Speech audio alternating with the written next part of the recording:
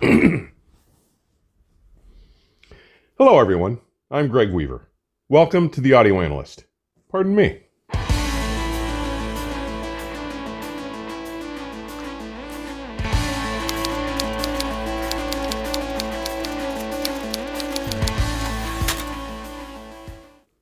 Before we get into today's topic, I want to thank all my current subscribers and remind all new viewers that if you find merit or value in these conversations, if you are enjoying the information I'm sharing here, please subscribe, like, and share links to your favorite episodes with your friends. And please be sure to leave your comments and questions for me to answer. Now, should you wish to support my efforts here, and in the process receive exclusive access and content, I would ask you to consider becoming a patron using any of the options provided in the comments section below any of my videos. With a wide range of Patreon subscription levels to meet any budget or level of generosity, I'd like to welcome my newest associate patron supporter, John Hoagie. Thank you, John. If a one time donation makes more sense for you, Please take advantage of that option using Patreon, PayPal, or Venmo. I've included links for all three in the comments sections of all my videos. I want you to know that your support at any level ensures that I will be able to continue producing these videos, and it is truly appreciated. You've no idea. Now, Today's discussion will include some simple, no cost tips and strategies that will allow you to get the best performance from your system, regardless of how expensive or affordable it may be. These ideas will allow you to maximize the native performance of your system, any system, from the simplest, most affordable, to the most exotic and expensive. First, let's discuss some simple things you can do to diminish the deleterious effects of the power feeding your music system. We, we have to acknowledge that dirty, spiky, fluctuating power can rob your music system of its resolving ability, refinement, and clarity. Now, I, have talked about this concept before in episode 9 when discussing my sixth audio axiom um, piss poor power prevents proper performance. Sorry. But I, I wonder have you ever noticed that your system sounded utterly magical that one time you played that special recording rather late one evening, just before going to bed? If you did, and then chose to ignore it, you're missing out on a good thing. So, less than pristine power will be responsible for significant and irretrievable losses to resolution and transparency and can have a large impact on pace, drive, and tonal accuracy. Some people opt to use power conditioners. I, I, do. You have to be very select if you choose to use an AC power conditioner, as many have the ability to introduce their own problems. Things like constricted dynamics, the loss of air and space, and, and tonal imbalances. The very best ones, like the Audience Adept Response passive units or the PS Audio Direct Stream Power Plant regenerators, are magical and present no deleterious side effects in my experience. However, they are costly and not everyone wants to or can afford to take that leap. So, how can we leverage the best power delivery to our music systems without spending a bundle? Well, the easiest way comes from understanding that any running electronic device on your home electrical system will contribute to the degradation of the quality and purity of the AC feeding your sources, line stage, and amplifiers by injecting noise and disrupting stability. Now, by far, the worst offenders are digital devices and anything with a motor or a heating element.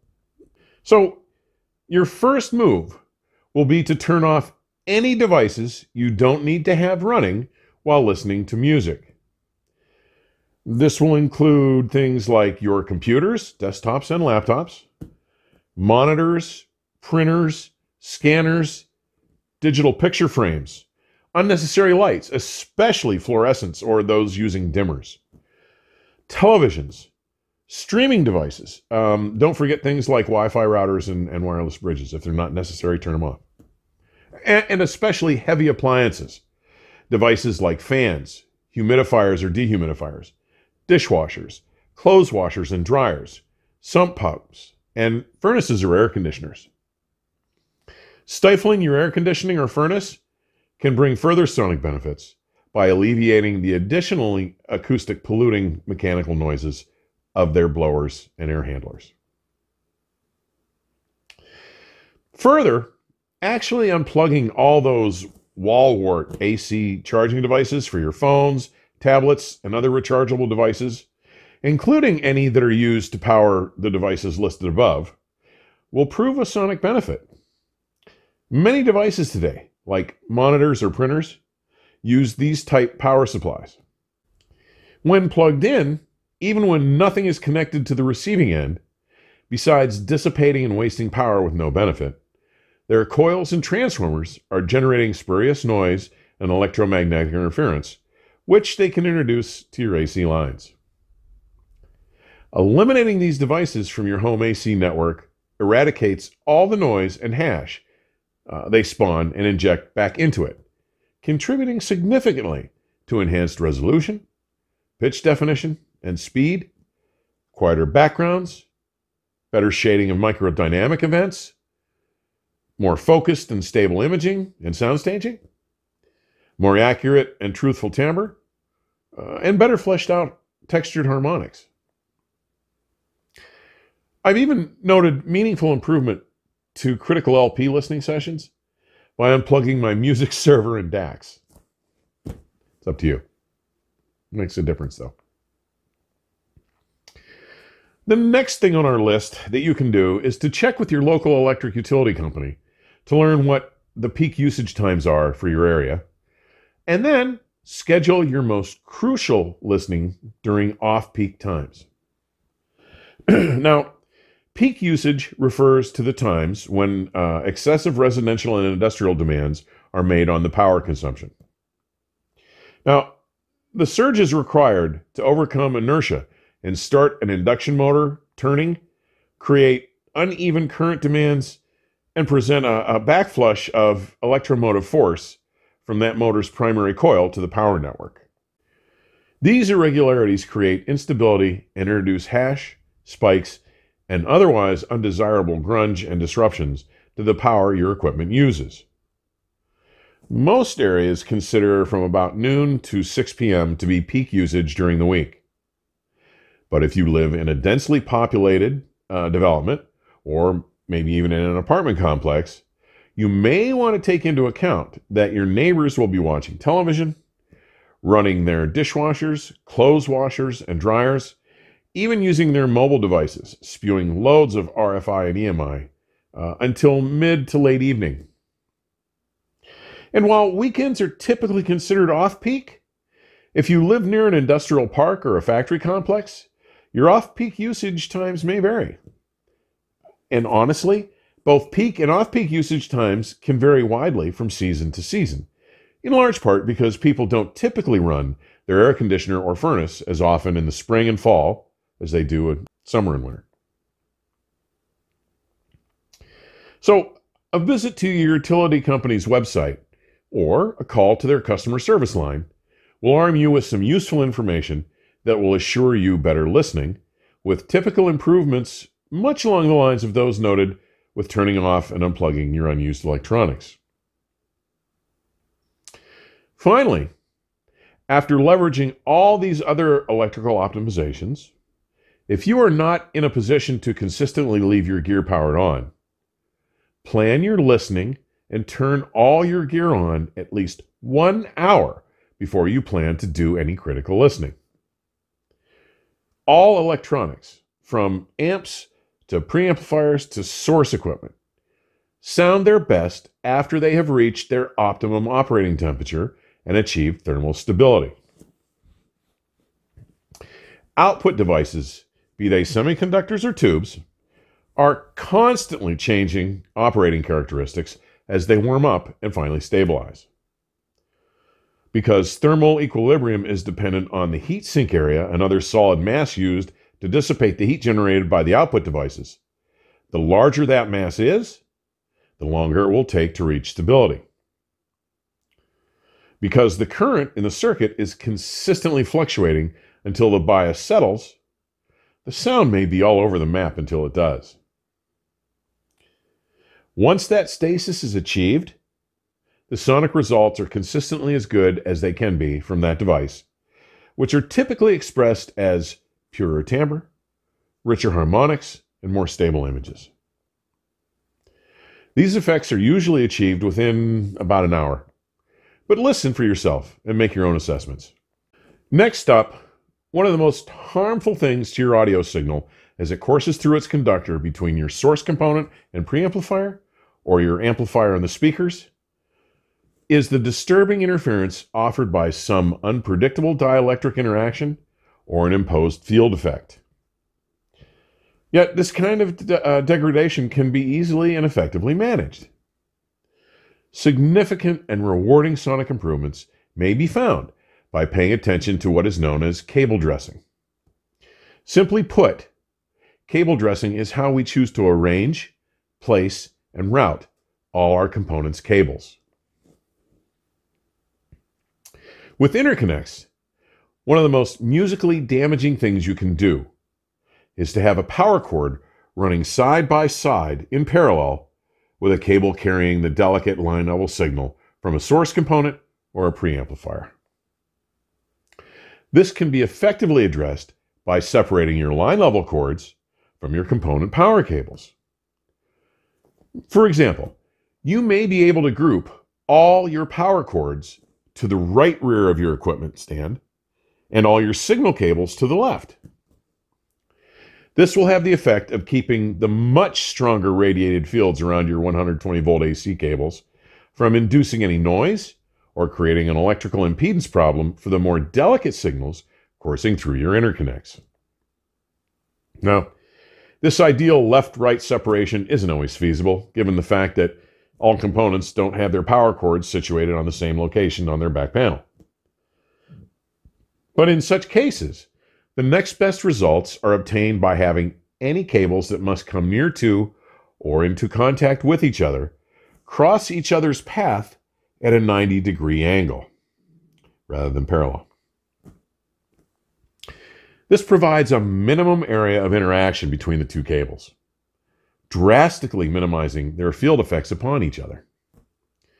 The sonic benefits derived by separating line level and AC cables typically include increased definition, better imaging and staging, enhanced low level detail and resolution, and a more coherent signal from top to bottom. One of the more audible and annoying problems with loudspeaker cables is one caused by the deleterious dielectric interaction with your floor covering. Most thick carpets are made of materials that while designed to wear for 20 years and not absorb pizza sauce, have extremely poor electrical characteristics. And honestly, even bare wooden floors are considerably less than desirable. Because your cable lays on this material, half of the cylindrical field generated around the cable as it courses to your loudspeaker is impeded by the flooring, often creating a gross slurring of the signal.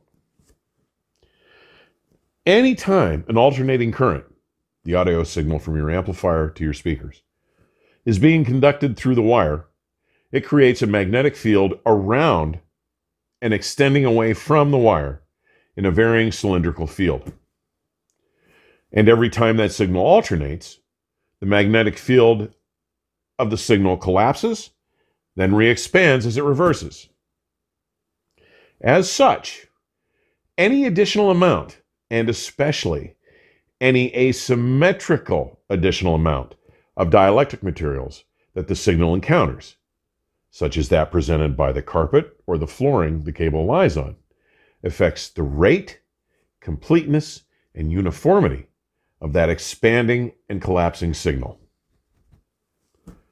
The materials under the cable impede that rapidly changing magnetic field, affecting its rate of change, presenting completely different degrees of reactance to the half of the field extending below the cable than to the half extending above it into only air. The result of this effect can be heard as smearing of fine detail, lumpy tonality or timbral imbalances, brightening or dulling of the bandwidth, corrupted timing, and obliterated detail. The point is, you need to get your loudspeaker cables up off the floor. Now, some people, in my experience, uh, go to serious extremes in this area because of the significance of the interaction.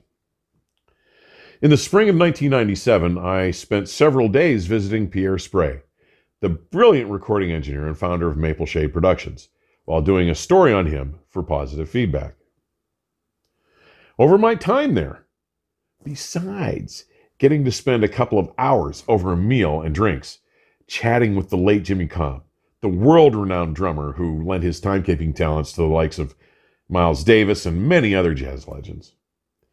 I learned that Pierre used monofilament wire, fishing line, suspended from his ceiling to hold the wires off the floor, uh, effectively building a, a loudspeaker cable suspension bridge between the amps and speakers in his room. This might be a bit much for the average listener, and it is sure to upset the significant other, but it was highly effective. But since paper offers moderately good dielectric interaction and is so inexpensive, one of the easiest fixes is to use paper cups under the speaker wires to elevate them off your carpet or floor. You might even try empty cardboard toilet paper rolls uh, or paper towel rolls.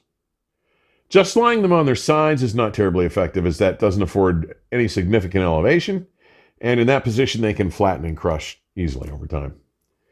Rather, cut them into at least four inch lengths and stand them on end so that they stand up.